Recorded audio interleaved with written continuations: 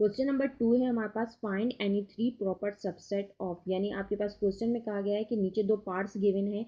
इनमें से, इन पार्ट्स के आपने क्या करना है? कोई से भी तीन प्रॉपर सबसेट बनाने हैं। पहले तो हम प्रॉपर सबसेट की डेफिनेशन पे आते हैं कि प्रॉपर सबसेट की डेफिनेशन क्या थी? कि ए आपके पास बराबर ना हो बी के। यानी कि एक सेट है आपके पास यहाँ पे, जैसे आप देख रहे हैं, एक सेट आपके पास दिया हुआ है A E I O U five elements इसमें फाइव वोवल्स दिए गए हैं। तो ये जो फाइव एलिमेंट्स है, इसके जितनी, यानी कि इसके बहुत सारे पॉसिबल सबसेट बन सकते हैं। लेकिन क्वेश्चन में बोला गया कि आपने सिर्फ़ थ्री बनाने हैं। तो अब थ्री आपको बनाने के लिए आपने क्या करना है यानी कि थ्री आप कोई से भी बना सकते हो। अब जैसे यहाँ पे हमारे पास पॉसिबल सबसेट कितने पॉसिबल सबसेट का फार्मूला क्या होता है? टू की पावर एन तो यहाँ पे फाइव एलिमेंट्स थे तो हमने फाइव टू की पावर फाइव एलिमेंट लिखा।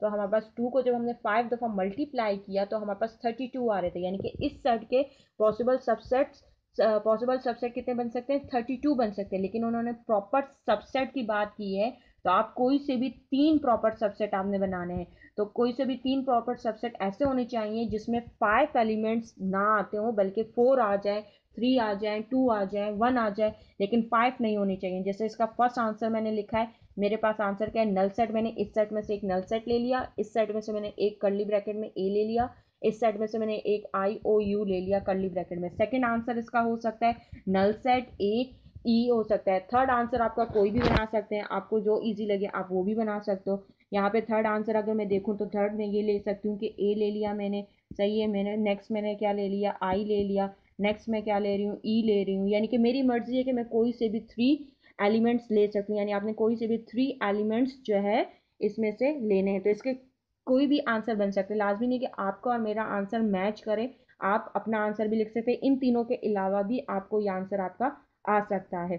जस्ट आपको समझ में आना चाहिए कि कितने आपने, कितने बन सकते हैं। यहाँ पे थर्टी टू थे तो थर्टी टू में से हमने एक माइनस किया तो हमारे पास थर्टी वन तो थर्टी वन टोटल इसके कितने बन सकते हैं? आपके पास प्रॉपर सबसेट बन सकते हैं। तो आप थर्टी वन तो नहीं बनाएँगे क्वेश्चन में उन्होंने जस्ट थ्री बोला है तो आप थ्री बनाएँगे।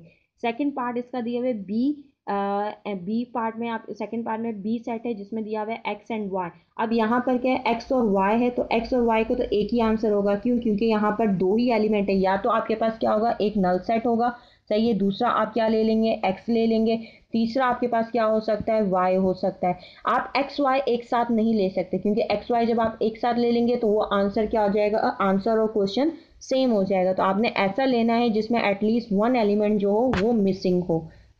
सेकंड क्वेश्चन सेकेंड पार्ट आपने होमवर्क में करना है।